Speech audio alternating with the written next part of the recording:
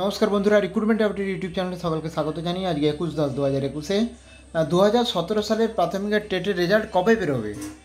তো এই নিয়ে একটা সমস্যা তৈরি হয়েছে এবং এই যে জন্য হচ্ছে আন্দোলন, যে চাকরি প্রার্থীরা, তারা কিন্তু বৃহত্তর আন্দোলনের প্রস্তুতি নিচ্ছেন। তো আসুন দেখে নিই দু হাজার সতেরো সালের সতেরো সালের প্রাথমিকের টেট পরীক্ষার রেজাল্ট বের করা নিয়ে কী গুরুত্বপূর্ণ আপডেট রয়েছে, তার আগে বলি, যদি চ্যানেলটা এখনও সাবস্ক্রাইব করে না তখন প্লিজ সাবস্ক্রাইব করে নেবেন, নানান ধরনের লেটেস্ট আপডেট পাওয়ার জন্য, চাকরি কর পাওয়ার জন্য শিক্ষাসঙ্গত কর পাওয়ার জন্য। পুজোর আগে প্রাইমারি টেটের রেজাল্ট দেওয়া হবে ঘোষণা করেছিলেন খোদ পর্ষদ সভাপতি ঢাকের কাঠি বাজার আগে মুহূর্তে যখন রেজাল্টের অপেক্ষায় দিন গুনছিলেন কয়েক লাখ প্রার্থী, ঠিক সেই মুহূর্তেই প্রাথমিক শিক্ষক নিয়োগ এবং টেটের রেজাল্ট নিয়ে একাধিক অডিও ভাইরাল হয়, যাতে স্পষ্টই বোঝা যাচ্ছে যে পুজোর আগে রেজাল্ট বেরোবে না এবং সেই আরেকটি জল্পনা যুক্ত হয় যে দু হাজার চোদ্দ সালের রেজাল্ট নিয়ে নতুন করে ভাবছে সরকার। তাহলে কি হবে? দু হাজার সতেরো সালে টেট পরীক্ষার্থীদের রেজাল্টের ভবিষ্যৎ? এই ফলশ্রুতিতে তা না হওয়ায় হতাশা এবং ক্ষোভ দুই বাড়ছে প্রার্থীদের।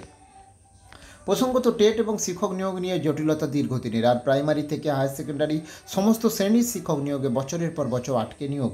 আর যার জেরে বারবার আদালতের কাছে বারবার তোপের মুখে পড়েছে রাজ্য ও পর্ষদ। আর এবার দু হাজার সতেরো সালে প্রাইমারি টেট নিয়ে প্রার্থীদের ধীরে ধীরে ক্ষোভ বাড়ছে।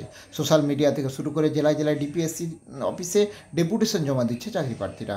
অন্যদিকে দু হাজার সালের নিয়োগের পর্ষদ নিজেই নট ইনক্লুডেড নামে একটি ক্যাটাগরি সৃষ্টি করে দু সালের প্রার্থীদের রেজাল্ট নিয়ে টালবাহানা হচ্ছে বলে অভিযোগ প্রার্থীদের প্রার্থীদের আক্ষেপ, ভোটের রেজাল্ট তিন দিনে বেরিয়ে যায়, কিন্তু আমাদের রেজাল্ট বছরের পর বছর আটকে রাখা হয়। এদিকে দু সালের স্কুল সার্ভিস কমিশনের নবম দ্বাদশ শ্রেণির শিক্ষক নিয়োগের যে পরীক্ষা হয়, এরপর যে মেধা তালিকা প্রকাশ করা হয়, সেখানে একাধিক দুর্নীতির অভিযোগ ওঠে। নাম্বার ভিত্তিক মেধা তালিকা প্রকাশ না করা, রেশিও মেনে নিয়োগ না করা, মেধা তালিকায় অপেক্ষাকৃত পিছনের সারির প্রার্থীকে আগে নিয়োগ এবং এস এস এস এম এসের দুর্নীতি সহ বহুত কারণে প্রথম দফায় ডাক পাওয়া সুপারিশ সুপরিকল্পিতভাবে বঞ্চিত প্রার্থীরা দু হাজার উনিশ সালে টানা টানা উনত্রিশ দিন অনশন হয়। আর সেই অভিযোগে দীর্ঘদিন ধরে যেমন আন্দোলন চলছে সেই রূপ আন্দোলনের পরিকল্পনা করছেন দু হাজার সতেরো সালের প্রাথমিক টেট পরীক্ষার রেজাল্টে আসায় চাকরি প্রার্থীরা। তাহলে দু সালের রেড টেট পরীক্ষার রেজাল্টের জন্য এবারে কিন্তু তারা চাকরি প্রার্থীরা বড় আন্দোলনের প্রস্তুতি নিচ্ছে যাতে দ্রুত এই প্রাথমিক শিক্ষকের নিয়োগের রেজাল্ট প্রকাশ করা হয়। তো পর্ষদ কী ভাবছে? তার দিকে তাকিয়ে রয়েছে হাজার হাজার চাকরি প্রার্থী, লক্ষ লক্ষ চাকরি প্রার্থী।